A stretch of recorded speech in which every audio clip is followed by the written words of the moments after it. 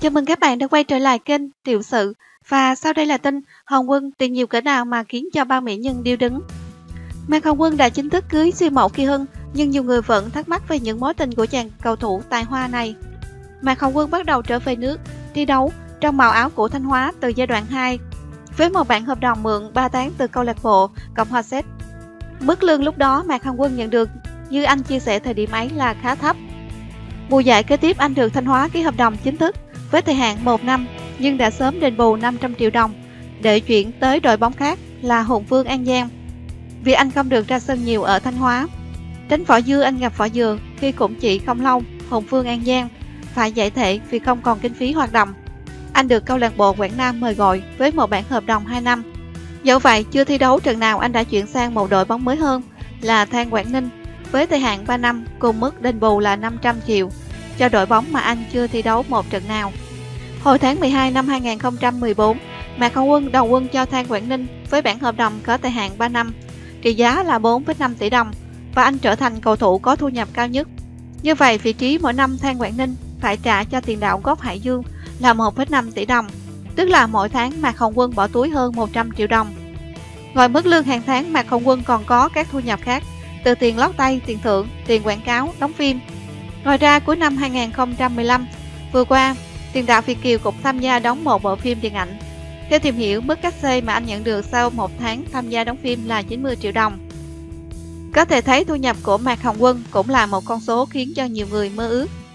Trước đó, ngay sau khi Kỳ Hưng chia sẻ rằng mỗi tháng Mạc Hồng Quân chu cấp cho con trai của Khánh Ly 60 triệu đồng, nữ diễn viên nhật ký Văn Anh khẳng định đó là hoàn toàn là chuyện không có thật. Từ khi chia tay Mạc Hồng Quân đến nay, tôi không nhận được bất kỳ cuộc gọi điện thoại nào của Quân cả. Thế nên chuyện anh Quân chu cấp tiền cho con trai tôi mỗi tháng là hoang đường. Tôi khẳng định đến thời điểm này con trai tôi chưa nhận được bất cứ đồng nào từ Mạc Hồng Quân. Và mẹ con tôi cũng không muốn bất kỳ sự dính dáng nào liên quan đến Mạc Hồng Quân. Những bóng hồng xinh đẹp từng qua tay cầu thủ sát gái Mạc Hồng Quân. Mạc Hồng Quân được coi là cầu thủ đào hoa nhất U23 Việt Nam. Mới về nước chưa lâu nhưng anh chàng đã có bề dày tình sự hoành tráng. Những bóng hồng một thời gắn bó với Hồng Quân đều là những hot girl nổi tiếng, cả về tài năng cũng như sắc đẹp.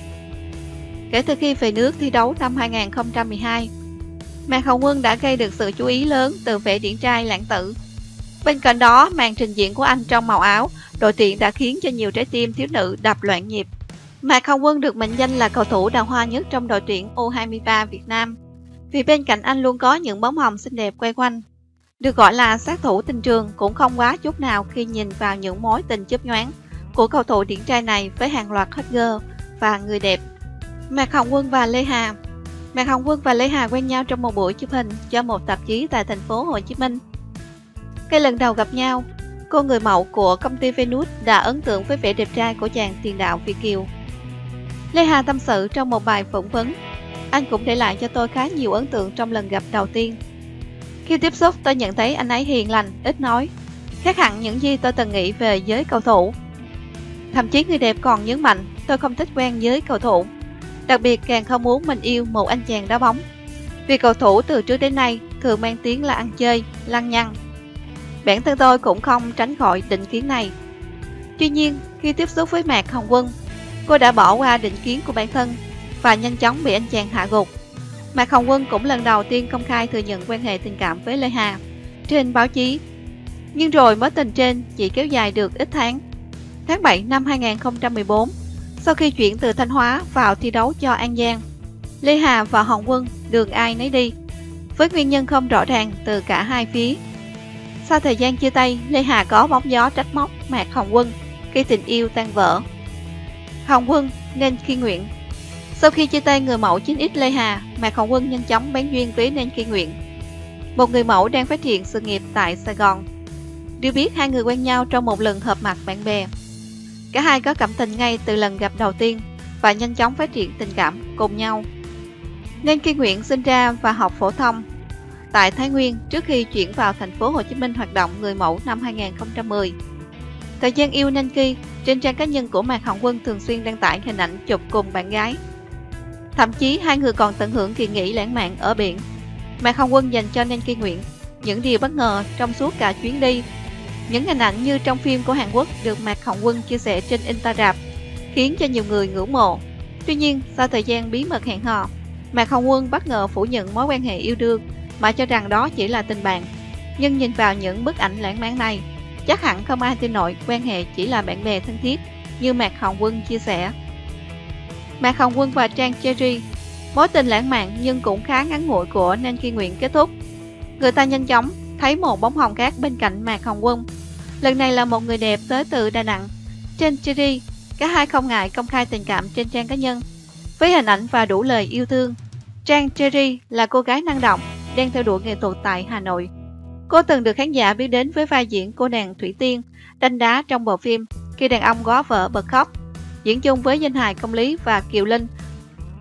Ngoài khả năng diễn xuất, Thu Trang còn sở hữu giọng ca khá tốt. Cô từng tham gia Việt Nam Idol năm 2010, nhưng giai đoạn hạnh phúc của cả hai không kéo dài quá nửa năm.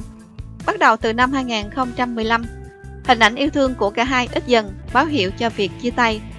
Tới tháng 5 năm 2015, Trang Cherry không còn nằm trong ký ức cầu thủ Thang Quảng Ninh, bất ngờ công khai mình có người yêu mới quen cách đây 3 tháng.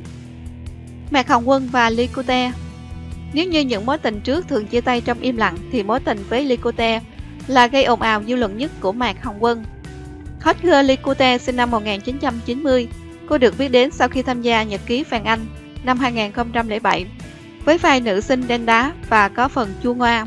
Cô và Mạc Hồng Quân công khai yêu nhau trước khi SEA Games 28 diễn ra và thường xuyên có những khoảnh khắc ngọt ngào đăng tải trên trang cá nhân. Cả hai cũng đã từng tính đến chuyện kết hôn. Tuy nhiên tháng 9 năm 2015, cư dân mạng bất ngờ khi Lycote và Mạc Hồng Quân chia tay. Chuyện không dừng ở đó. Khi có thông tin hot girl nhật ký vàng Anh có bầu với Mạc Hồng Quân ngay sau khi chia tay và chàng cầu thủ bỏ rơi bạn gái vì không muốn ảnh hưởng đến sự nghiệp. Tuy nhiên Mạc Hồng Quân khẳng định không bỏ rơi Glicote như mọi lời đồn trước đó. Anh cho rằng mọi chuyện xảy ra là do bạn gái đã không tôn trọng mẹ anh. Còn phía hết girl xinh đẹp cô không muốn tranh luận nhiều và không muốn dùng con làm gánh nặng cho Mạc Hồng Quân. Mạc Hồng Quân và Kỳ Hưng là cầu thủ có tiền lệ thay bạn gái như thay áo. Khán giả không khỏi bất ngờ khi Mạc Hồng Quân ngày một yêu thương trân trọng Kỳ Hưng. Khác với những mối tình sớm nở chấm tàn, trước đó Mạc Hồng Quân và bạn gái đã có hơn 6 tháng bên nhau dù vấp phải nhiều ý kiến trái chiều từ khán giả. Bước vào mối quan hệ với chân suốt họ mạc, Kỳ Hân không ít lần hứng đá vì những phát ngôn bên vực người tình. Chuyện cô phẫu thuật thẩm mỹ và những scandal trong quá khứ cũng bị Atifan mang ra chỉ trích. Kỳ Hân bỗng trở thành ác nữ khi bị cho là kẻ cướp đi hạnh phúc của mẹ con Khánh Ly. Mạc Hồng Quân và Kỳ Hân chính thức hẹn hò vào tháng 11 năm ngoái. Cặp đôi bị bắt gặp tay trong tay đi mua sắm tại Thái Lan. Thời điểm này Mạc Hồng Quân vừa chia tay Khánh Ly và dính tin đồn cặp kè cùng hot girl Emmy Nguyễn. Sự việc Khánh Ly có thai khiến cho Kỳ Hân và Mạc Hồng Quân khốn đốn. Mạc Hồng Quân bị chỉ trích vô trách nhiệm, bỏ rơi bạn gái cũ và ngang nhiên vui vẻ cùng tình mới. Suốt 6 tháng yêu nhau, Kỳ Hân nhiều lần bức xúc vì Atifan vào tận trang cá nhân lớn tiếng xúc phạm. Mạc Hồng Quân và bạn gái có ra mặt bảo vệ nhau, nhưng chỉ khiến cho sự việc càng thêm rối.